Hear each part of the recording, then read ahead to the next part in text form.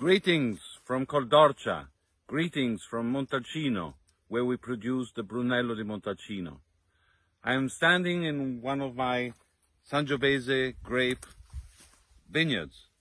Sangiovese grape is the grape we use to produce Brunello di Montalcino. And uh, I came to check the ripening of the grapes. I picked this bunch to uh, analyze it and uh, judge the point of uh, ripeness. But I've been tasting the grapes. They are ready. Probably tomorrow morning we will come and pick them for the Brunello di Montalcino 2020. But now I want to present to you the Col d'Orcia Brunello di Montalcino Vintage 2015.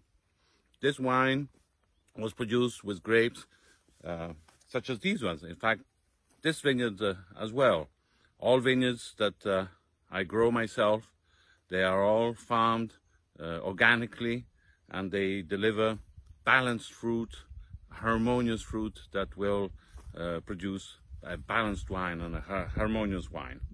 This 2015, uh, after picking the grapes, was brought to the cellar and we uh, aged it for full three years in large oak barrels to uh, allow it to mellow and uh, amalgamate uh, and uh, really become ready to be enjoyed by you.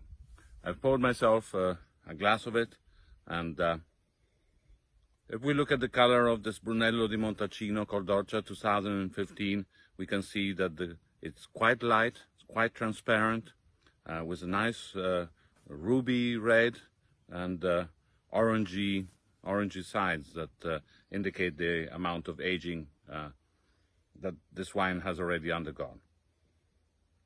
To the nose, it is uh, elegant and complex. You can feel the cherries, the sour cherries, also spices and uh, dried fruit.